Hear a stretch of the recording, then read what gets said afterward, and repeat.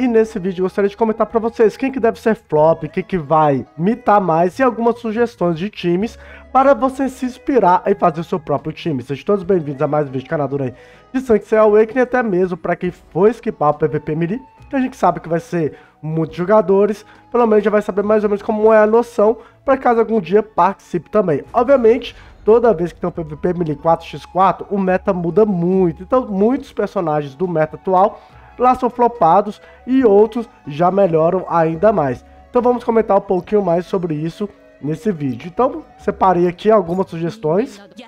Essas aqui, eu acho que são uns que vão flopar, que estão no meta atual. Artemis, né, que ela é muito top para ficar arrebentando aí, dando tapinha nos inimigos. No último, acho que a Artemis não mitou tanto assim. Eu acho que ela não vai continuar mitando, ela vai dar uma enfraquecida, com menos personagens atacando também. Também com menos, de, ah, é, fala defesa, né? praticamente sem defesa, então Artemis deve pular, pode aparecer algum cara ou outro, né? Ah, eu vou jogar de Thanatos e tal, né? Sukiô, melhor dizendo, mas não. Canon sem, con sem condições, né? Quanto mais inimigo, melhor. Aqui tem menos inimigo. Lixo. Mesma coisa que o Hypnos. O Hypnos também precisa de quantidade de rodadas do inimigo, então ele já vem nerfado, né? Ele seria só mais como controle, né? Alterar o Orfeu, um Saga Maligno que pode aparecer, mas como cura, causador de dano, é horrível, tem opções melhores. A Saori também, ela depende da quantidade de ações do inimigo para curar e cura não vai rolar. Cura somente o Shu MM, acho que vai ser a única opção que a galera vai usar. O sangramento parece ser legal, né? Afinal de contas, as rodadas vão acabar muito mais rápido. Porém, é, tipo, as rodadas, a luta vai acabar muito rápido. Nesse PVP, as lutas acabam muito rápido. Então, o sangramento vai dar uma flopada também. E também acredito que Bandinha não deva rodar aí, beleza? Porque, sei lá, né? Um, dependendo de um controle e tal, poderia ser até legal. O Cerberus vai botar queimador rapidão cinco vezes, mas eu acho que também fica, tipo, muito óbvio. Pode rolar alguns jogadores tentando colocar aí a bandinha completa, mas é RNG, né, velho? Num lugar que você gasta até diamante para jogar, tentar é, contar com RNG, não sei se seria uma das melhores opções. Beleza? Ainda mais que o dano da bandinha ela não é tão forte assim, né? Porque o dano é do Orfeu, vai jogar sem o Duco Divino, por exemplo. Sorento poderia ficar até legal, né? Botando ali o sono profundo em todo mundo, mas acho muito arriscado porque é muito RNG. É legal você prolongar a luta, contar com o RNG possa ativar várias vezes, e como as lutas aqui vai ser rápido, eu não contaria com isso. Outros aqui, o Doku eu acho que ele, como buff, é meio estranho, talvez alguns podem usar ele com o Orfeu, né, eu vou dar essa sugestão, talvez com o Sukiyo também, mas no geral, acho que o Doku vai cair muito no PVP Melee. Porque, ah, ele tá lá como buffer. E aí, o, sei lá, você colocou o Orfeu e o Orfeu faleceu. O Doku vai fazer o que ali? Não vai ter build de sangramento. Sacou? Como gerador de energia, a melhor vai ser a Atena, com certeza, né? Porque como as lutas vão, dar, vão ser rápidas, a Atena vai dar uma brilhada, vou falar mais dela também. A Albáfica, a mesma coisa do Shura, build de sangramento né? O enfraquecimento do dano não é tão legal aqui, porque começa a aumentar o dano muito rápido. Eu não sei se aumenta já na rodada 2, já começa a aumentar o dano nesse PVP melee. Por isso que as lutas duram 3, 4 rodadas. E assim, é bem mais rápido, né? É um terço, né? 4 ações de cada um, não são 6. Então, sei lá, 16 ações, que é rodada 2, é, meio da rodada 3 já finalizou. Então, acho que o Albáfica não vai dar uma. Vai dar uma flopada, né? Até mesmo porque, como eu já especulei, não deve aparecer tanta cura assim também. Exclamação. É legal, mas a galera vai focar demais em, em personagens tanque que vocês vão ver. Lógico que pode aparecer um outro não tanque, o Cano de Gêmeos, o Milo, o Shu MM, como eu disse para vocês, deve ser o único curandeiro que deve aparecer e é counter da exclamação. Provavelmente a exclamação não deva aparecer. A formação de gelo também. Ela pode aparecer, mas eu acho que não. Temos controles, opções melhores, tá certo? E é isso. Eu acho que não vai ter tantos atacantes em área para favorecer o Camus Divino. Você tem que botar o outro Camus, então já fica com dois controles. E eu acho que um controle já é muita coisa. Então, por isso eu acho que a formação de gelo não deve aparecer. Mil e Alone Não vou evoluir, então já dá aquele skip, né? Básico, quem gosta de jogar com borboletão e Alone. Esses aí são alguns dos personagens que eu acho que vão. São, estão no meta atual e vão dar uma flopada bonita no PVP Melee, né? Outros seriam mais ou menos ou indiferente, tá? Mas esses aí são os destaques. Agora vamos para os destaques que vão dar uma melhorada. Aqui são só suporte, tá? E eu vou apresentar aqui. Sasha, principalmente com o time de Afrodite, que provavelmente vai ser a proteção dos deuses mais utilizada. Então, protegeu a Sasha, todo mundo vai dar contra-ataque do seu time. Então, isso aí vai ser bem interessante. A galera que vai usar a Sasha. Então, tenha cuidado. Eu não vou dar muitos exemplos de formações aqui, mas saiba que a Sasha vai, deve aparecer. Comandante Pandora, com certeza vai ser a controle mais apresentada aí junto com o Ayakos. Comandante Pandora para causar um dano em área absurdo aí no inimigo. E é isso, flopar as energias, combinho. Ah, o, o inimigo tá com cheiro divino. Vai dar zica, né? Então é isso. Então prepare-se para enfrentar Comandante Pandora. Ajax, provavelmente o melhor controle, né? Tipo, se ele é, atordoar um, né? E o outro vai ser exilado, ele já stunou 50% do time do inimigo, velho. Isso aí é um absurdo. Se ele é, exilar um e stunar dois, é 75% do time do inimigo. E isso é muito roubado. O Ajax provavelmente vai ser muito roubado, conta um pouquinho com o RNG no atordoamento, mas ele vai ser um dos melhores controles.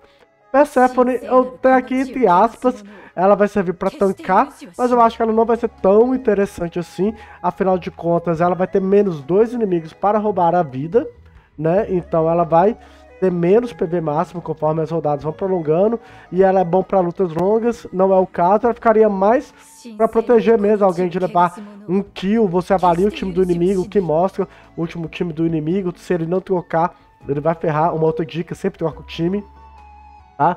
Embora você tenha 40 segundos para trocar o time. Tiro Divino é um dos melhores suportes aqui, beleza? Porque a mesma coisa do Ajax, você já vai proteger praticamente o time todo, né? Você vai ficar um fora. Então tá lá, uma Sasha, um Shiryu Divino, por exemplo. Não, mas aí a Sasha gasta 4 de energia, né? Aí complicou um pouquinho. Mas, tipo, um cano de gêmeos fica invisível, tá lá o Shiryu com escudo e os outros dois com escudo. Então protegeu praticamente todo mundo. Então, Shiryu deve imitar muito aqui, só tem o problema do custo 3. E o Shun, que deve ser a cura mais utilizada, já que ele não gasta energia, ele tá lá, pode passar os combinhos de duplo turno, igual o Ajax, que já tem aqui também. Então, o Shun deve ser a cura mais da hora. Ao, ah, também, além do Shiryu, vamos ter o trio, né? Proteção, provavelmente. Então, o Shun Sapuri, porque tem um Revive, pode aparecer também em outras condições que não tenha que gastar energia, né? E o próprio Shun Divino despertado também. O Shun Divino despertado, ele vai parecer pouco, né? Afinal de contas, ele lançou essa semana. Mas, por exemplo, dá pra dar aqueles loop de timidez de Afrodite. Igual, ah, só sobrou um. Coloca o, Shun invisível e fica lá o outro eternamente é, sofrendo dano, aumentando a corrente do Shun. E aí o Shun já coloca a proteção novamente no aliado automaticamente com seu CR. Então Shun, ó, vai ficar delicinha quando esse combo pegar. Então, quem já despertou o Shun pode utilizar ele, se não, deve usar o Shun Sapuri para aquelas builds que quer proteger o atacante papel, um Sukiyo, né? Provavelmente deve ser um dos atacantes mais hypados, e o Thanatos também. Então deve ter o Xion e o Shun Divino, para aqueles que precisam de energia. Para quem usar aí uns custos zero, vai ter o Shiryu Divino. E falando em atacantes, vamos falar agora dos atacantes, né? São os atacantes serão mais vistos? Sonic Gêmeos, embora papel, ele fica invisível, né? Então dá para fazer uns loop igual o do Shiryu Divino, que eu citei para vocês, né? Ele vai ter aquele problema do... Do, como é que fala? De menos aliados, então menos aliados vão falecer para ele ganhar mais determinação, mas o Cano não deve entrar como gerador de energia, ele vai entrar como DPS mesmo, para ficar invisível. Ainda mais que nós não teremos, acredito eu, muitas Saúres. Vai ter bem menos Saúres ou quase nenhuma. Sukio vai ser um DPS aí bem OP, vai combar muito com Shiryu e Shun MM também. E sem comentários, né? Sukio, ele ainda gera aquela vida extra dele com 50% a mais. Ele é um pouquinho papel, vai ter os Tanatão. Lembre-se, Thanatos é o atacante que será mais utilizado. Thanatos. Thanatos vai marcar o Sukiô, mas você vai ter sempre aquela timidez de Afrodite, ou você pode preparar a defesa, Shun Divino, Shun Sapuri, né? Que aí o Thanatos talvez não marque o Sukiô. Então por isso que vai ter esses lances, tá? Orfeu bem pontual também. Talvez ele possa aparecer com o Doco Divino, com a Comandante Pandora, né? Deixa lá ele visível e, e vai setando Lira na, nos inimigos. Mas acho que vai aparecer bem pouco, mas pode aparecer. Atena, com certeza, uma das melhores atacantes, porque ela vai ficar imortal, então vai prolongar demais a luta. Com a timidez de Afrodite também, pode fazer aquele loop, né, de deixar um aliado invisível e ela imortal, fica tancando dano todinho lá. Isso aí é insuportável. E ela deve ser a geradora de energia mais presente aqui no PVP Mini 4x4, tá? Renatão, tem comentários, é o custo zero e a sobrevivência dele que será o destaque. Tem um olho também que aqui já vai dar uma valorizada. A segunda ação do inimigo vai chegar muito mais rápido porque rodadas vão ser canceladas, vão terminar né, muito mais rápido. Thanatos provavelmente o atacante mais hype de lá. Você tem que estar preparado para enfrentar Thanatos. O Aiori Divino, desde que você proteja ele também, ele vai ser muito forte. Afinal de contas, o Aiori Divino vai atacar 75% dos inimigos, né? É, então o Aiori Divino com certeza vai ser muito da hora. O problema é se a gente vai enfrentar muitos inimigos com shield para ele garantir skill 2 e skill 3 automaticamente, né? Já que controle, não sei se vai ter muitos controles, mas se você não tiver controle, fica ligado nisso daí do inimigo. Se ele aparecer com o Shu MM, dá para atacar quem tá com o escudo do Shu MM e tal, senão você vai ter que contar com o RNG dele mesmo, de tentar dar skill 2 e 3 para arrebentar. E a gente sabe que o Aior Divino, ele dá uma mitada e obviamente ele vai precisar de proteção. Shun Divino e um Shun Sapuri provavelmente vai acompanhar ele, talvez um Shun MM, né? Dependendo aí da build do inimigo, mas aquele lance, vai ter o Tanatão, então você vai querer dar duplo turno pro e não vai rolar e tem que pensar nisso também, ok? A você tem um counter aí pro Tanatão, é isso. Então essas são algumas das da galera que eu acho que vai brilhar mais ou que vai brilhar menos. Vou apresentar aqui algumas sugestões de times para vocês. Lógico que daria para fazer muitos times aqui, né? Mas né, para não ficar um vídeo muito longo, eu espero que vocês entendam a ideia de tudo que eu apresentar aqui para vocês, algumas sugestões. Mas antes também, não esqueça de deixar aquela moral com seu like, a sua inscrição e se possível compartilhar, beleza? Esse aqui é o primeiro time. Então, aquele time que eu falei de Shiryu Divino, todo mundo custo zero, vai ter que colocar fada em pântano em alguém aqui, provavelmente vai ser escolhido o Shun Divino, tá? Então, eu tiraria o Shun aqui, trocaria com o Sukiyo, pro Shun ficar dentro da da proteção aqui do Shiryu. E aí vocês colocam a corrente no Sukiyo. E pronto. Shiryu tocando todo mundo, tá, é, Shiryu dando contra-ataque, Tanatsu dando Zoi, vamos ter o Sukiyo aqui também. E aqui tem uma variação, né? Você pode trocar também o Sukiyo para algum outro atacante que você achar interessante de custo zero. Ou tem a variação aqui também que você coloca o cano de gêmeos, tá? Então você tira aqui ou, ou como fala? O Sukiyo ou o Shun e coloca o cano de gêmeos, vai ficar invisível. E aí ah, você vai ter que colocar a fada do pântano em alguém também. Então, fica ligado. Dá pra colocar melhor aqui no Sukiyo, né? Você não tem o Sukiyo, por exemplo, coloca o cano de gêmeos e vai pra lá. Atacantes aí que não vão gastar energia, as melhores opções vão ser essas aí, beleza? E o Ayori, né, não vai ter aquele problema das energias. Radamanx, eu não sei se vai rodar tão bem assim. Se não aparecer o Show MM, pode rodar melhor, mas ele vai demorar demais a estacar as espadas, talvez, as asas, né? Então por isso que eu não acho ele tão interessante. É, aqui é, teremos aí o famoso timezinho de Sasha, né? O problema aqui é que a galera vai atacar o Shu MM, provavelmente, então você teria um tempinho aí para tancar né, o, o time do inimigo. O problema também que vai ser que você deveria esconder alguém, né? E eu acho melhor esconder a Sasha. Talvez você poderia colocar algum outro DPS também. E, sei lá, você tem um Thanatos upado, então o Thanatos upado seria interessante aí que ele vai aumentar bastante a ira dele, né?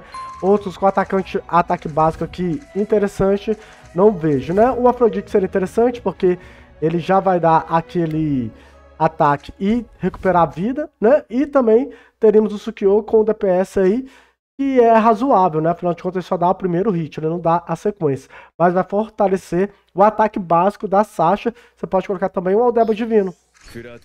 Né? Eu não citei, mas o Aldeba Divino vai ser interessante, principalmente se você colocar Thanatos e Orfeu, né? Porque ele, o Orfeu vai dar um ataque extra na alma, e os ataques em área do Thanatos vai causar o dobro do dano, porque vai acertar no inimigo duas vezes, no corpo e na alma dele também.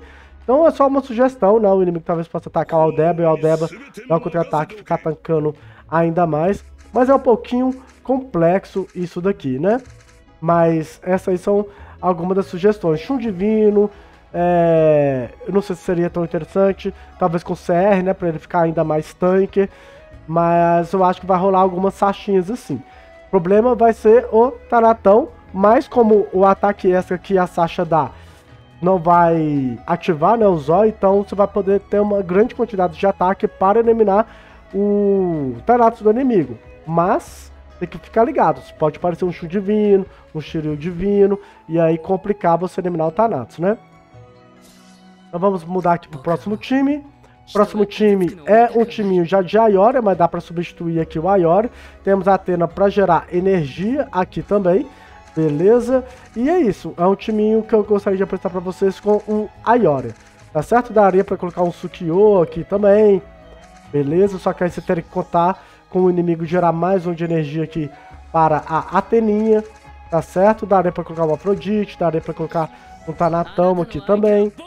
Né? E aí você... Seria tipo aquela base do cano de gêmeos, né? Só que aí você teria a Atena. Vamos mudar aqui, vamos pro próximo aqui. É um time de comandante Pandora, padrãozinho, né?